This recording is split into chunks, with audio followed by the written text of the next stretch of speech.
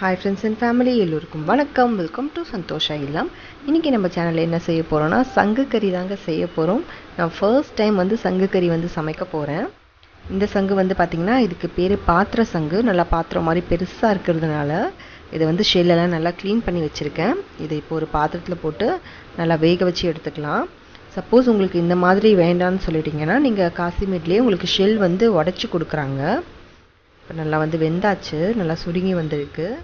இப்போ நல்லா ஷார்ப்பான ஒரு நைஃப் ஏதாவது வச்சு நீங்கள் எடுத்திங்கன்னா அப்படியே அந்த ஷெல்லுலேருந்து கறி வந்து தனியாக வந்துடும் அங்கேயே வந்து அழகாக நல்லா உடச்சி அந்த கறி மட்டும் தனியாக நம்மளுக்கு கொடுக்குறாங்க.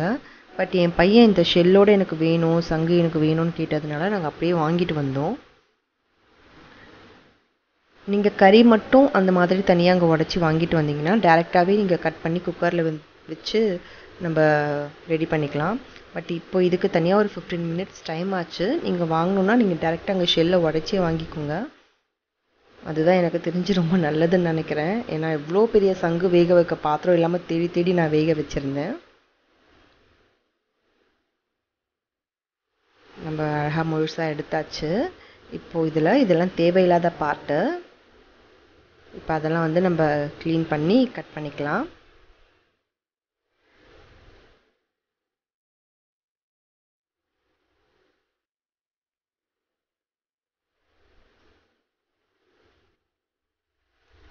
நம்ம தேவையில்லாத பார்ட்டெல்லாம் கட் பண்ணி க்ளீன் பண்ணி எடுத்துட்டோம்.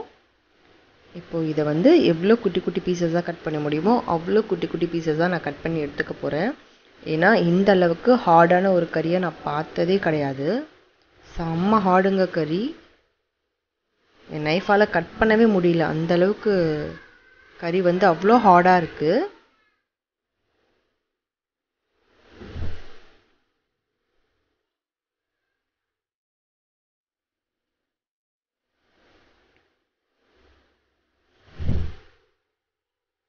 நம்ம அங்கேயே ஷெல் பிரேக் பண்ணி வாங்கிட்டு வந்திருந்தா இந்த மாதிரி குட்டி குட்டியாக கட் பண்ணி நம்ம டேரெக்டாகவே விசில் போட்டு எடுத்துகிட்ருக்கலாம்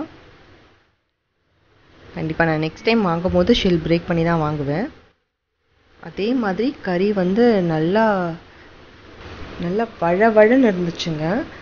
ஸோ அதனால் எவ்வளோ குட்டி குட்டியாக கட் பண்ணி எடுத்துகிட்டு இப்போ இதை நல்லா உப்பும் மஞ்சளும் போட்டு நம்ம நல்லா கழுவி எடுத்துக்கலாம்.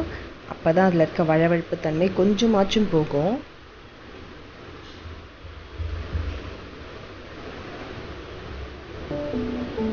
கல்லுப்பு இருந்தால் பெஸ்ட்டு பட் எனக்கு கல்லுப்பு கிடைக்கல இங்கே.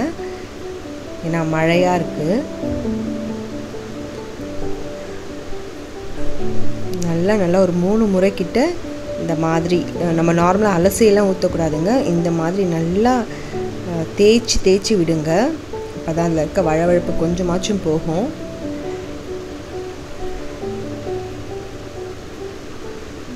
இப்போ இதை நம்ம குக்கரில் போட்டு வேக வச்சு எடுத்துக்க போகிறோம் கூட கொஞ்சமாக உப்பு.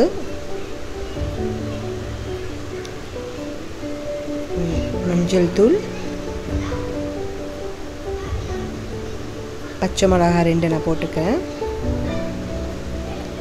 கடைசியாக இஞ்சி பூண்டு பேஸ்ட்டை நான் சேர்த்து தேவையான அளவுக்கு தண்ணி சேர்த்து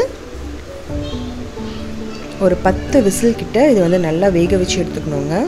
ஏன்னா இந்த கறி வந்து ரொம்பவே ரஃப்பான கறி.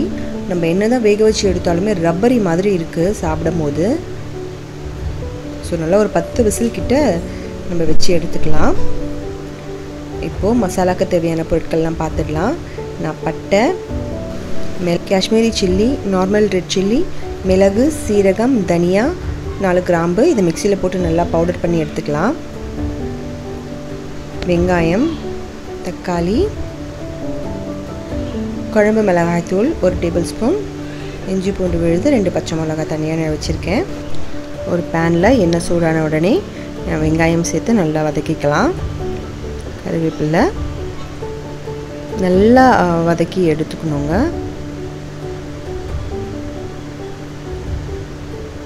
இதில் ரெண்டு பச்சை மிளகா போட்டு வெங்காயம் வதங்கினதுக்கப்புறமா இஞ்சி பூண்டு பேஸ்ட்டு சேர்த்து நல்லா வதக்கிக்கலாம். பச்சை வாசனை போகிற வரைக்கும். இப்போ இதில் தக்காளி சேர்த்துக்கிறேன்.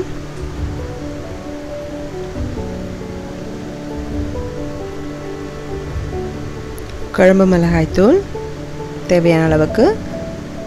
இப்போ நம்ம அரைச்சி வச்சுருந்த அந்த மசாலா பொருட்களையும் நான் சேர்த்துக்கிறேன்.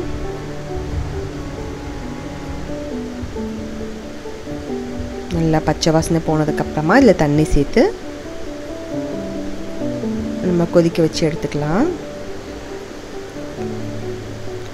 மசாலா எல்லாம் நல்லா வெந்து நல்லா வாசனை போனதுக்கப்புறமா இதில் தேவையான அளவுக்கு உப்பு சேர்த்துட்டு ஏன்னா நம்ம கறிக்கு மட்டும் தான் உப்பு போட்டிருக்கோம் டிஷ்ஷுக்கு உப்பு போடலை. ஸோ பார்த்து சேர்த்துக்கோங்க உப்பு. இதில் இப்போ நம்ம கறியை சேர்த்துடலாம்.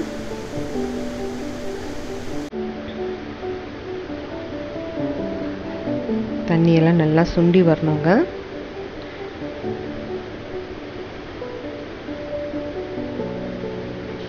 அவ்வளோதான் நம்ம சங்குக்கறி ரெடி ஆகிடுச்சு பார்க்கவே சூப்பராக இருக்குது பட் ஃபர்ஸ்ட் டைம் சாப்பிட போகிறோம் எப்படி இருக்க போகுதுன்னு தெரியல. சங்குக்கறி வந்து உடம்புக்கு ரொம்ப ரொம்ப நல்ல ஒரு மருத்துவ குணம் கொண்ட ஒரு கறிங்க.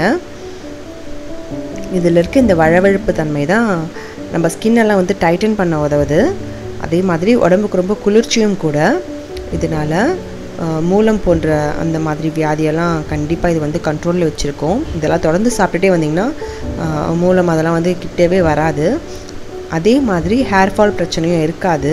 சங்கு கறி அவ்வளோ குளிர்ச்சியான ஒரு கறிங்க. ஸோ மழை டைமில் சாப்பிட்றது கொஞ்சம் அவாய்ட் பண்ணிக்கோங்க. நாங்கள் எக்ஸ்பெக்ட் பண்ண அளவுக்கு அந்த அளவுக்கு மோசமாலாம் இல்லை. நல்லாவே இருந்துச்சு. ஆனால் கறி கொஞ்சம் ரப்பரியாக இருந்துச்சு. நல்ல அந்த வழவழப்பு தன்மை இருந்துகிட்டே இருந்துச்சுங்க.